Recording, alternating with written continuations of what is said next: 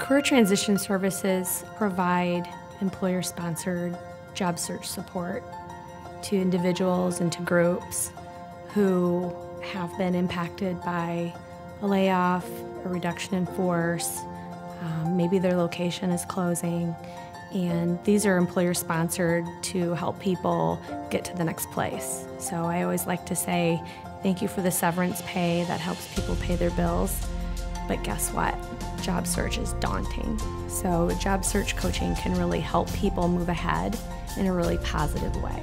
From employer perspective, to know that somebody, you know, is not stuck, um, is moving on in a positive way, can be really, really helpful to them as well. And by the way, they probably had some friends at work, probably had some coworkers, and to know that somebody got some support can be really, really helpful. And it says a lot about the employers in this community.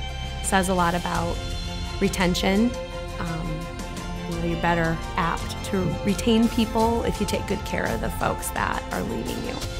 I can't count how many times somebody has come up to me and said, I was at XYZ company and I got a link to a website and you know the webinars were helpful and my resume I think is good but I don't know where I want to go next and I don't know what employer fits for me and I don't I don't know how to navigate this community. So I think where we bring expertise is this is our home, this is our community. People who live here are friends and neighbors. That's the difference. So if you're going to offer outplacement services or career transition programs, get something for the investment.